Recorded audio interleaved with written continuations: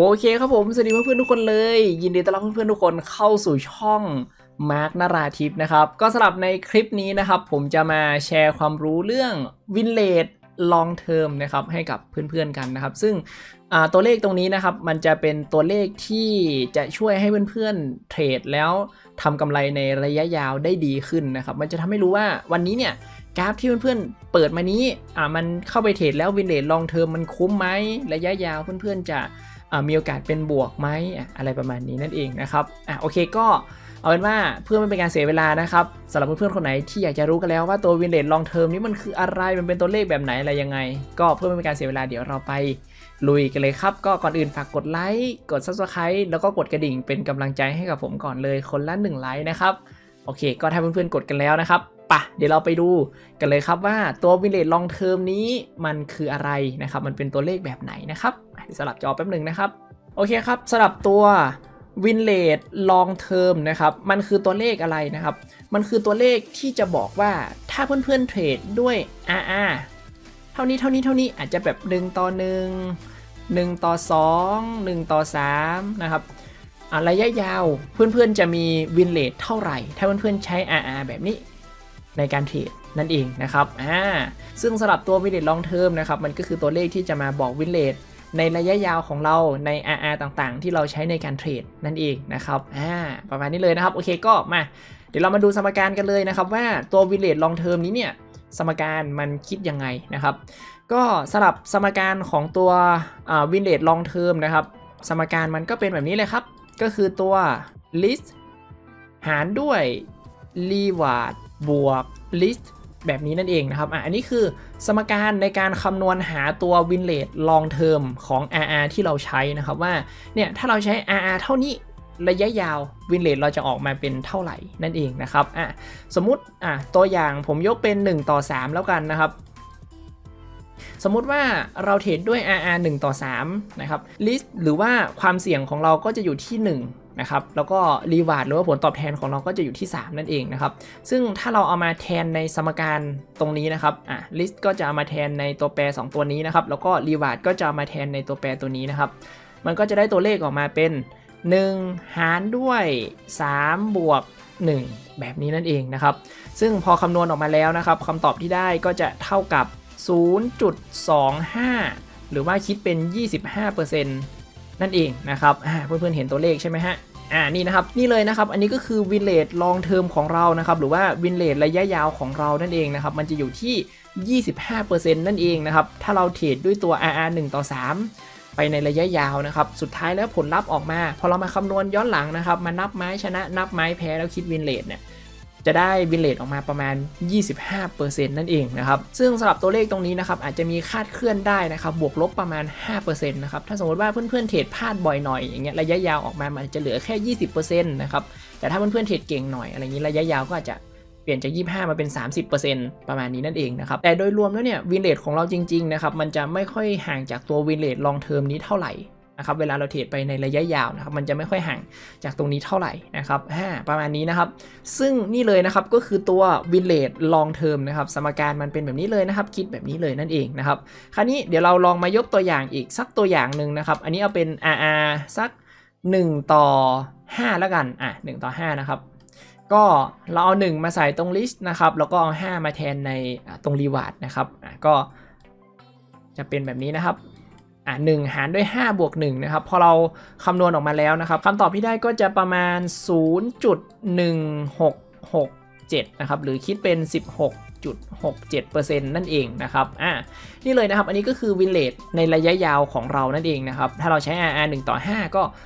สุดท้ายแล้วพอผ่านไประยะยาวแบบผ่านไปเป็นหลักพันไม้หลักหมื่นไม้เลยนะครับ วิเลทระยะยาวของเรามันจะอยู่ที่ประมาณ 16.67%นั่นเองนะครับ อ่า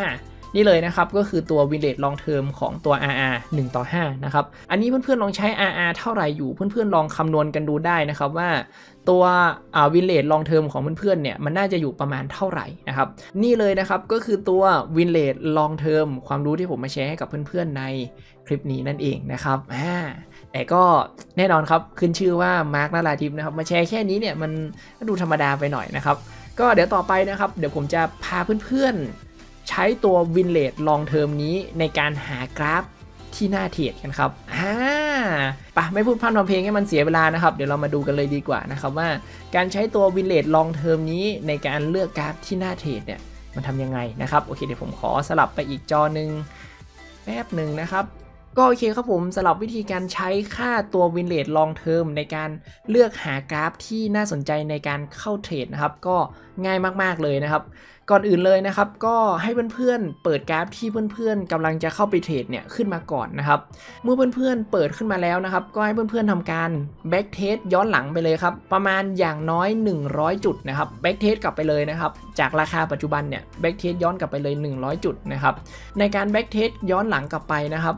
ให้เพื่อนๆเนี่ย backtest ย้อนหลังกลับไปด้วยค่า RR ค่าเดียวกันหมดเลยนะครับ ยกตัวอย่างเช่น ถ้าเพื่อนๆจะใช้ RR 1 ต่อ 3 ในการเทรด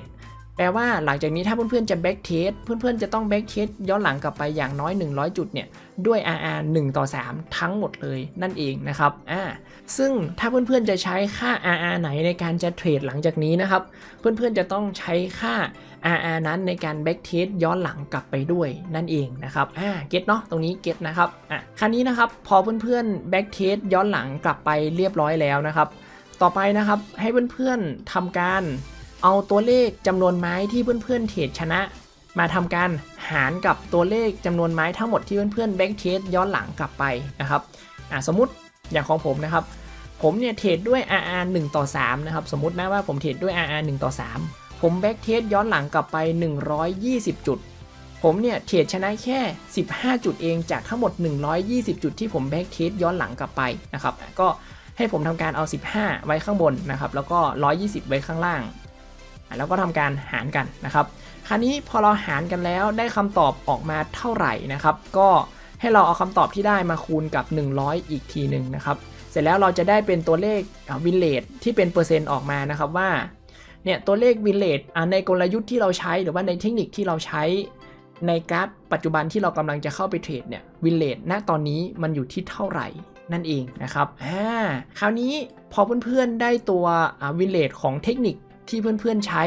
ในกราฟที่เพื่อนๆกำลังจะเข้าไปเทรดนี่มาแล้วนะครับ ก็ให้เพื่อนๆทำการเอาตัวเลข win rate ที่เพื่อนๆได้มานี้ เอาไปเทียบกับตัวเลข win rate long term นะครับอ่าก็ผมใช้ RR 1 ต่อ 3 นะครับ win rate long term ของผมมันจะอยู่ที่ประมาณ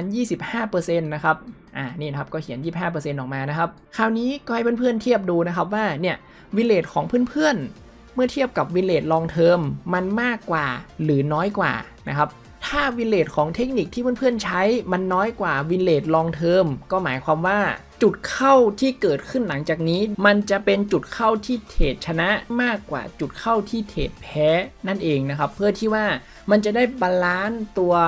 win rate ของเทคนิคเราเนี่ยให้มันมาเท่ากันกับตัว win rate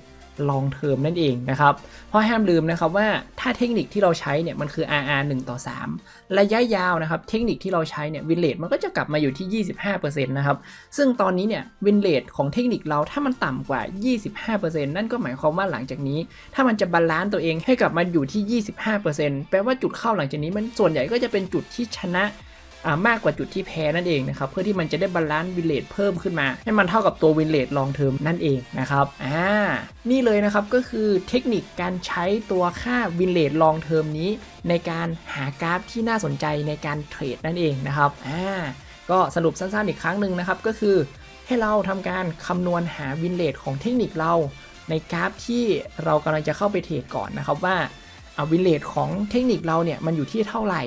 มันต่ำกว่าตัว win rate long term หรือเปล่านะครับ ถ้ามันต่ำกว่าตัว win rate long term นั่นหมายความว่า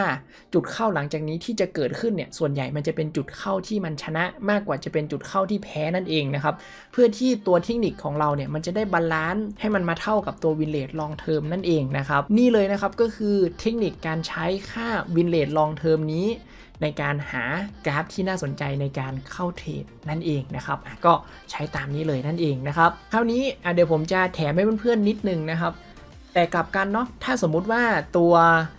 win rate ที่เราคำนวณได้นะครับ ตัว win rate ของเทคนิคที่เราทำได้เนี่ย มันดันมากกว่า win rate long term มันจะมีผลยังไงนะครับ มันจะมีผลว่าตอนนี้เนี่ยเทคนิคของเราเนี่ยมันชนะมามากกว่าแพ้นั่นเองนะครับ ซึ่งนั่นหมายความว่าถ้าสุดท้ายแล้วเนี่ย win rate ของเทคนิคเรามันจะกลับมา balance กับตัว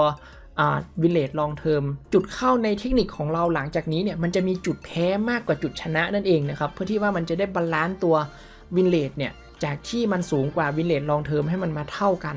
นั่นเองนะครับอ่านี่เลยนะครับ ถ้าตัวเลขค่า win rate ของเทคนิคเราเนี่ยมันมากกว่า win rate long term ผลลัพธ์มันจะออกมาไม่ค่อยสวยเท่าไหร่นั่นเองนะครับ เพราะฉะนั้นนะครับแปลว่าหลังจากนี้เนี่ยถ้าเพื่อนๆจะหากราฟในการเข้าเทรดอย่างน้อยควรจะดูก่อนนะครับว่ากราฟที่กำลังจะเข้าไปเทรดนั้น เทคนิคที่เพื่อนๆใช้อยู่เนี่ยมันมีค่า win rate น้อยกว่า win rate long term ของ RR ที่เพื่อนๆใช้อยู่หรือเปล่านะครับถ้ามันน้อยกว่า มันก็แปลว่ากราฟปัจจุบันนี้น่าเทรดนั่นเองนะครับอ่า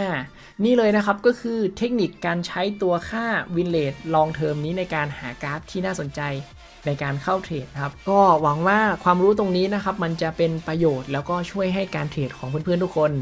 ดีขึ้นได้นะครับสำหรับความรู้ตรงนี้นะครับ อันนี้ผมบอกก่อนนะว่า ผมก็ไปเรียนรู้มาอีกทีนึงนะครับ ไม่ได้เป็นความรู้ที่ผมคิดขึ้นเองเนาะเพราะฉะนั้นแล้วความรู้ตรงนี้ที่ผมมาแชร์มันอาจจะไม่ได้ถูกต้อง 100%ตามที่ผมไปเรียนรู้มาก็ได้นะครับทั้งนี้ทั้งนั้นความรู้ตรงนี้เพื่อนๆเอาไว้ประกอบการตัดสินใจในการเข้าเทรดในการเลือกกราฟเทรด ก็พอนะครับ ไม่ต้องเอาเป็นปัจจัยหลักในการเข้าเทรดก็ได้นะครับ ประมาณนี้เนาะโอเคครับผมก็สำหรับคลิปนี้นะครับ ขอบคุณเพื่อนๆทุกคนที่ติดตามรับชมกันมาก ๆเลยนะครับ ก็หวังว่าคลิปนี้จะเป็นประโยชน์แล้วก็ช่วยให้การเทรดของทุกคน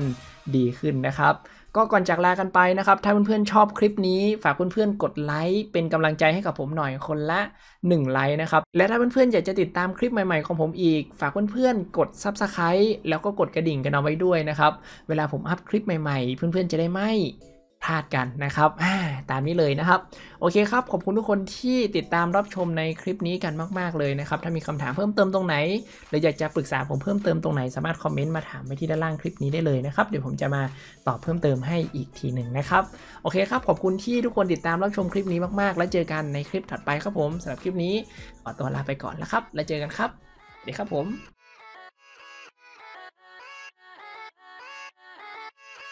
Yeah, yeah, let's go. I ain't the first with the curse, with the thirst that I wanna be better, not worse, man, it hurts. I'm on this earth with my words, and I put them all together, insert, cause I wanna have worth. Working hella hard till they put me in the dirt. Gonna go far, man, listen to my words. Gonna be a star, man, life's like a blur. When you're working this hard, yeah, you get what you deserve. Yeah.